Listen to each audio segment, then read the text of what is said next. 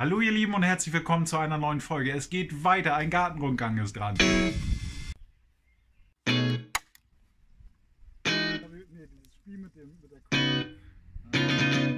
In diesem Moment sitze ich bei den Jungs im Gewächshaus, denn äh, es weht eine steife Brise bei uns im Norden. Das wird mich daran hindern, im Garten äh, direkt zur Kamera zu sprechen. Deswegen, ich werde Aufnahmen machen und wieder nachvertonen.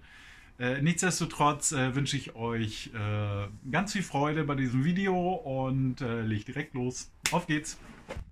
Dieser Gartenrundgang ist nicht wie ein Gartenrundgang im Sommer. Nichtsdestotrotz gibt es ein paar Highlights zu zeigen. Das möchte ich euch nicht vorenthalten. An dieser Stelle ein dickes Danke an Nadine. Vielen Dank für deine Unterstützung. Auch in Erftstadt hast du mir ein paar Pflanzen mitgegeben. Sie hat auch einen eigenen Gartenkanal. Äh, den verlinke ich euch mal oben rechts. Aber jetzt soll es losgehen mit dem Rosenkohl. Den habe ich auch von Nadine und wie ihr sehen könnt, auf einem ist der Kopf drauf, den anderen habe ich abgeschnitten. Nochmal von oben zu sehen. Der eine hatte schon große Röschen, der andere kleine und da, wo ich den Kopf abgeschnitten habe, sind die Röschen tatsächlich größer geworden. Allerdings wird das jetzt nicht nur daran liegen, dass ich den Kopf abgeschnitten habe, denn ich habe auch das Beet einmal drumherum ein bisschen mehr befüllt mit Nährstoffen, habe auch gedüngt, deswegen äh, so richtig hundertprozentig kann ich das an der Stelle nicht sagen. Jetzt sind wir beim Knoblauch, den ich euch jetzt ein bisschen zeige, die Stellen, wo hochgekommen ist. In dem Bereich, da ist im Moment gar nichts hochgekommen, da warte ich noch. Dann haben wir hier den Hirschhorn Wegerich, nicht Potluck wie angenommen, den Green Giant und den Red Giant Salat. Ab zum nächsten Beet. Ja, und auf diesem Beet habe ich auch verschiedene Sachen. Wer das noch nicht mitbekommen hat, Radieschen, Feldsalat, Salat. Dann gehen wir noch mal ein Stück weiter. Hier habe ich ja auch den Red Giant, äh, Hirschhornwegerich und so weiter rausgeholt. Da könnt ihr sehen, das kommt auch alles. Allerdings ist mittlerweile auch neben dem Hirschhornwegerich der Potluck zu sehen. Das ist der Potluck, den ich gerade hochzeige. Übrigens durfte ich den bei den Jungs probieren. Super, super lecker. Rote wilde Rauke.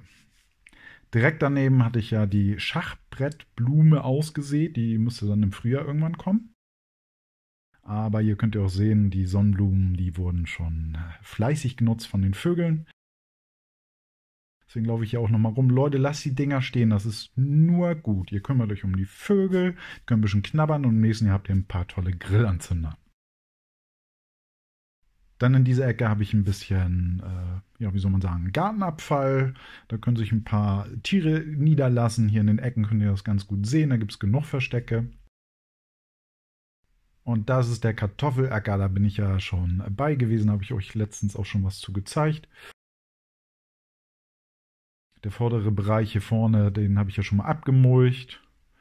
Äh, an den anderen Stellen habe ich hier schon äh, ja, Unkraut gejätet. Und den Bereich, den ich jetzt zeige, der ist noch nötig, da muss ich noch beigehen. Halt Step by Step. Eins nach dem anderen. Hier checke ich nochmal, was die Zwiebeln sagen. Äh, die sind auch noch ein bisschen gekommen. Ich bin überrascht. Äh, bin auf jeden Fall zufrieden. Und nach und nach mulche ich auch die Beete. Das wird da dann auch bald der Fall sein. Zum Thema Beete richtig vorbereiten fürs nächste Jahr habe ich auch schon ein Video gemacht. Da zeige ich euch, wie ich das mache. Das werde ich mal oben rechts verlinken. Wo geht's weiter? Ja, beim Zuschauerbeet lege ich mal los. Hier haben wir noch den, na, wie heißt der, der Wiesenknopf, Pimpinelle. Und hier haben wir noch Artischocken. Die sollen im Frühjahr blühen, wenn ich die durchkriege. Gehen wir einen Schritt weiter zur Bananenpflanze. Die muss ich ja für den Winter einpacken, dass ich die durchkriege. Und wie ich das angestellt habe, jetzt der Rückblick. Wie ihr sehen könnt, die Banane habe ich oben ein wenig abgeschrägt, äh, so an der Stelle, wo, ne, darunter war noch alles fett, darüber sah es nicht mehr so gut aus. Dann habe ich äh, die Steine drumherum gelegt, dann habe ich äh, diesen Rasenschnitt, den ich besorgt habe, zum Mulchen, den habe ich jetzt rundherum verteilt, ein bisschen mehr. Dann habe ich einmal diese Tonröhre darüber gestülpt. So bekommt die Banane keinen direkten Windzug. Ja, die Größe sollte wohl so sein. Das passt äh, so richtig gut. Dann könnt ihr sehen, sind äh, ein paar Steine drumherum gekommen.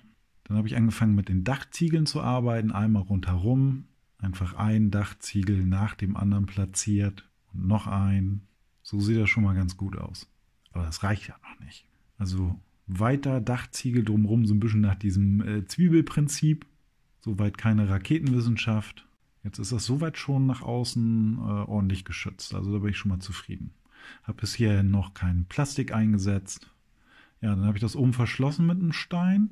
und weiter von dem äh, Rasenmaterial drumherum, von allen Seiten, ein bisschen dicker gemacht.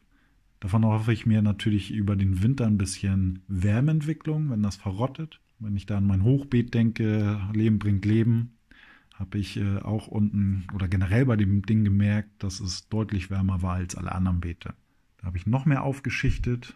Ich denke, das Prinzip ist sonnenklar. Also einmal drumherum ein bisschen was, was sich verkompostiert und damit Wärme abgibt.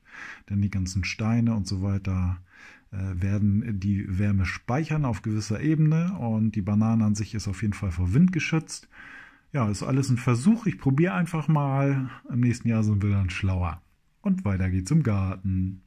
Ich habe ja neben dem Leben bringt Leben Beet noch äh, Sellerie drin. Äh, da bin ich ganz zufrieden. Also für späten November, es sieht auch noch top aus. Natürlich viel Blüte und so weiter, aber ich bin sehr zufrieden. Zuletzt hatte ich ja den Sven zu Besuch. Äh, wer ihn noch nicht kennt, ich hatte mit ihm ganz viel Spaß und Freude äh, vor ein paar Tagen habe ich das hier gebaut. Mein Holz braucht ja irgendwie mal Platz. Irgendwo muss das mal lagern, ein bisschen vernünftiger als bisher. Vorher lag der ganze Kram halt irgendwie im, im ja, im Rasen, im Regen und äh, kaum irgendwo aufgestapelt und irgendwas musste mal her. Das war es auch schon an Highlights aus meinem Garten. Ich habe euch jetzt nur nicht den ganzen Garten gezeigt, könnt euch lauter verwieste Ecken zeigen, aber äh, unterm Strich äh, wollt ihr auch das sehen, was sich tut.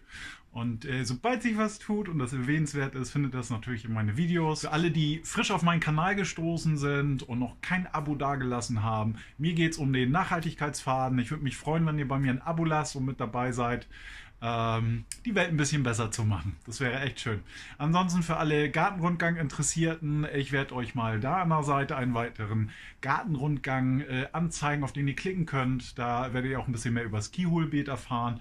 Also äh, da wünsche ich euch dann auch viel Spaß und Freude. Okay, das soll es gewesen sein. Ich sage vielen Dank fürs Zusehen und bis zum nächsten Mal. Tschüss, euer Lars.